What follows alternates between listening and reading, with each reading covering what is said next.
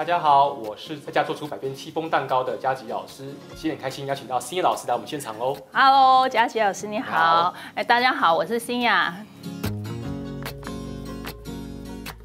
佳琪老师啊，我发现最近哈、有很多个同学他都问我说，呃，他搞不清楚戚风蛋糕、海绵蛋糕还有棒蛋糕这三者的差别在哪里。可是我发现这其实不只是他们共有的问题，也是很多呃初学者蛋糕初学者他常常遇到的问题哦。所以你今天可以帮我们解释一下这三款吗？那其实戚风来说，我们有又称为雪纺蛋糕，就像是衣服一样。对，这就是我今天特别穿这个雪纺衣服来的。其实我最喜欢的也是戚风蛋糕，因为它的蛋糕体比较绵，比较吃起来口感比较轻盈一点。是，那其实戚风蛋糕的油呃糖量跟油量算中等，然后最多糖是谁你知道吗？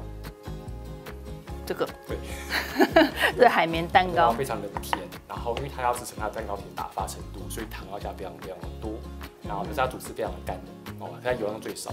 嗯但是它的高度会比较高啦，但是谁最油？你支撑力比较够。谁最有？你知道吗？这个对对对，这个是棒蛋糕。对奶油含量最高的。那它们的柔软度呢？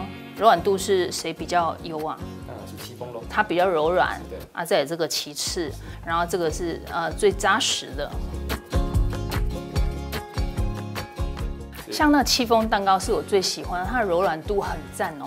那它除了这样子的造型，还可以做什么样的？它能做东西很多哎，像我们做贝斯蛋糕，我们可以做做成生乳卷，啊，甚至说我们要做成像常见的那种舒芙蕾，也是用戚风的做法做的。哦，就是现在很流行那种厚的酥厚松饼啊、厚舒芙蕾那种的，了解。呃，这三款的做法，你可不可以帮我们详细介绍一下？就是说它最基本的怎么做？那以戚风来说，我们有大部分是以蛋黄糊跟蛋白霜做混合，那蛋白霜的膨膨发度会更高一点，所以它更加的轻盈，更加的好吃。然后呢，棒蛋糕一般是使用奶油跟糖先打发之后，再加入蛋液均匀乳化，最后加入面粉类跟膨膨胀剂均匀烤焙。那海绵化是用全蛋打发或者是分蛋打发的方式，将蛋先打发之后，利用糖去补它的空隙。那打完之后呢，就会拌入我们的面粉，让它变变得非常结实的均匀烤。对，就做法略有不同。所以这三款呃有加膨发剂的，就是这一款喽，棒蛋糕喽其实。这个也会加，哦，这个也会加，为了它的高度嘛，对不对没？错。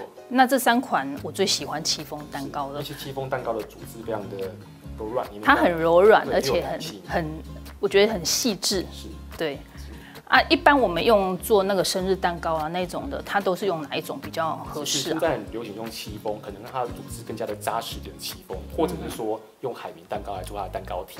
嗯因为海绵蛋糕的蛋糕部分的话，如果你做的是翻糖蛋糕的话，翻糖它本身重量非常的重，把蛋糕压扁，哦，它要有支撑力。对，可能撑不住。是，哦，了解。那这个棒蛋糕应该是呃国外人比较喜欢吃国，国 因为他们天气寒冷，所以吃这些高热量的哦。是。如果想了解更多戚风蛋糕相关知识，我本次与 Press Play 合作一堂戚风蛋糕课程，从器材讲解、原料挑选、蛋糕实做到变化，手把手带你的家做出百变戚风蛋糕。走过路过，千万不要错过喽！佳吉老师的百变戚风课程哦。